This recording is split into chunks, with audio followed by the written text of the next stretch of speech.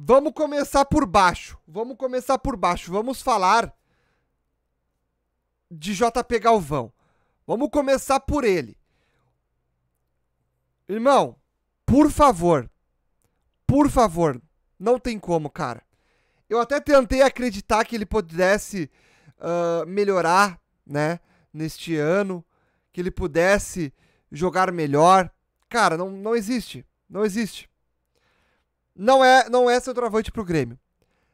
A camisa pesa em JP Galvão. Infelizmente, cara, eu queria acreditar que ele pudesse entregar muito mais, né? Muito mais do que ele fez no, no, no ano passado, mas não tem como, cara. Não tem como, o Grêmio precisa urgentemente de seu travante, e é por isso que o Grêmio está buscando dois no mercado e não apenas um. O Grêmio precisa urgentemente, sim, de um seu travante. O que acontece com o Grêmio é, é surreal, cara. Não tem o Soares, o time muda. É outro time, velho. É outro time. Esse time do Grêmio que entrou hoje, sem o Soares, é um time perdido. O ataque não se via nada, não se via criação.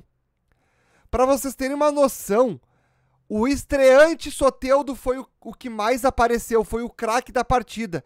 E não somente jogando no ataque, mas na defesa, ajudando na defesa. O Soteudo com um metro e meio teve que ajudar na defesa. Cara, eu não vou botar a culpa toda no, no Galvão, não vou botar a culpa toda só no ataque. É óbvio que a nossa defesa é uma horrível, um furo. O que, que é o Reinaldo, cara? O que, que é o Reinaldo? Não dá, velho. O Grêmio precisa de lateral esquerdo, velho. Cara, eu vou ser bem sincero para vocês. Com esse time a gente briga para não cair. E eu não tô sendo aqui um terra arrasada. Mas é porque a gente perde jogadores e não repõe. Olha, não temos Jeromel e Kahneman na zaga. A nossa zaga é um guri, o Gustavo Martins, que não é ruim, mas é um guri ainda, não dá pra colocar toda a responsabilidade nele. E o Rodrigo Eli, que, cara, sinceramente, não sei se vai ser suficiente pro Grêmio. Ele não é guri novo, ele é um cara mais, mais velho. Só que eu não sei se ele vai ter a qualidade pro Grêmio. Ele é bom em algumas partes, é bom. Mas ele parece ser muito lento para se recompor. Quando ele vai se recompor, ele, ele não consegue, ele é lento. Tanto que o gol que gente levou hoje foi um vacilo dele que, cara, se fosse um jogador mais ágil, conseguiria recuperar. Conseguiria recuperar. O Rodrigo ali não consegue, velho. O Rodrigo ali é. Mano, desculpa, mas ele é travado. É um jogador mediano para baixo. Não tem como. A gente precisa de zagueiro, a gente precisa de lateral esquerdo, a gente precisa de centroavante o jogo hoje foi uma foi uma foi uma lástima. E eu não vou botar a culpa no Kaique, tá? Eu sei que tem muita gente que já tava criticando o Kaique por causa do segundo gol, mas cara, não vamos apedrejar o Kaique, pelo amor de Deus. Ele fez boas defesas, fez boa partida. Desde o do ano passado, quando ele começou a ganhar a chance, ele fez boas defesas, hoje também. Cara, o segundo gol dele ali é um gol que até o Marcelo Groi poderia ter tomado a bola pegou na trave, ele olhou para a trave, no que ele voltou já tinha o cara cabeceando e ele ainda quase, ele ainda quase tirou a bola de dentro do gol, só que foi muito rápido. Então não dá para colocar a culpa toda no, no Kaique, como muitas pessoas eu vi colocando. Não é, não é problema do Kaique. Eu acho que a defesa, tanto a, a, o lateral esquerdo como a nossa zaga, isso aí tem que ser resolvido. Seu, mano, atacante, não dá, não dá pra entender, cara. A gente com o JP Galvão. JP Galvão no gol, no, no, no centroavante, cara.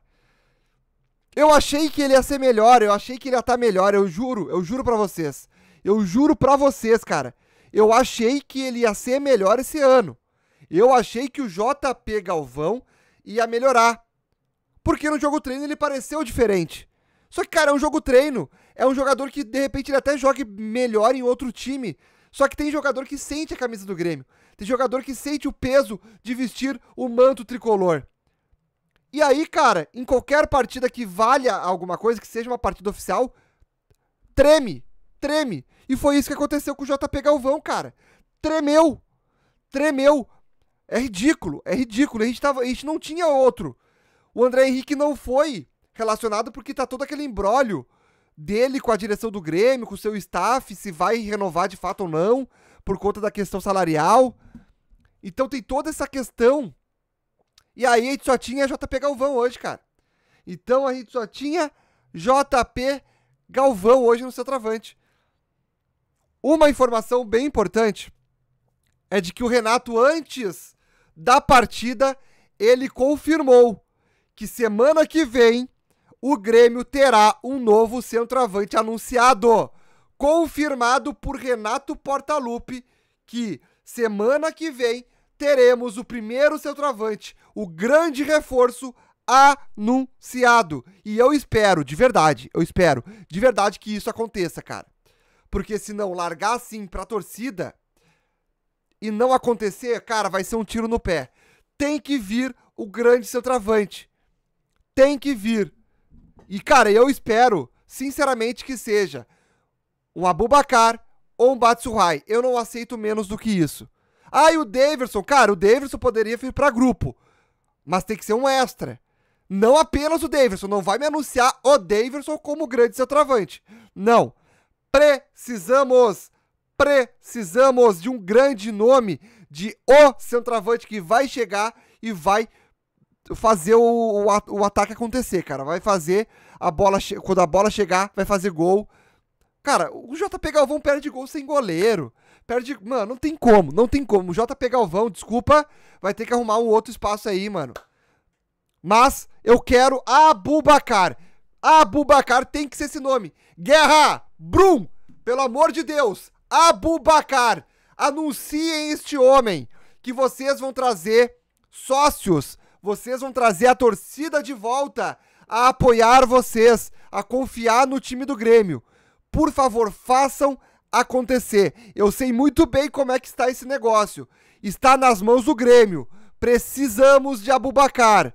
Abre os cofres, usa o Celso Rigo, usa Esporte da Sorte, usa uh, o, o outro lá, o. Cara, os, os, o outro, esqueci, Marques Pan, usa Marques Pan, usa Prato Fino, usa Esporte da Sorte.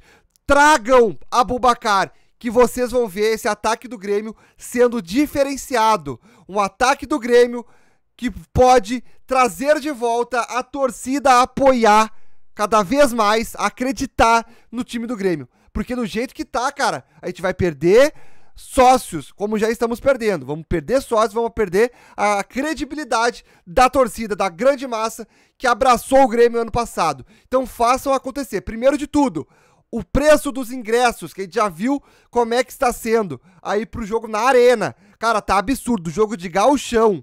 Jogo de gauchão. Agora contra o Zequinha, um preço absurdo. Absurdo. Na hora de cobrar sócio, na hora de cobrar ingresso, tá tudo bom, tá tudo maravilhoso. Vamos lotar e não sei o que, mas e os reforços? Tragam reforços. Tragam a Bubacar. A gente precisa de reforços. Não tem como aguentar esse time. Vai ser dor de cabeça maior do que a de 2021. Façam acontecer. Façam acontecer. Precisamos de reforços. Então esse é um recado para a direção do Grêmio. Precisamos de reforços. Façam acontecer. Temos dinheiro sim. Temos dinheiro sim. E eu sei que a negociação com o Abubacar pode acontecer. Então vem vem com o Abubacar, tragam o lateral esquerdo, traz também zagueiro, traz volante, precisamos de reforços. Com esse time, nós vamos brigar para não cair. E eu tô falando, mano, adiantando. Por quê?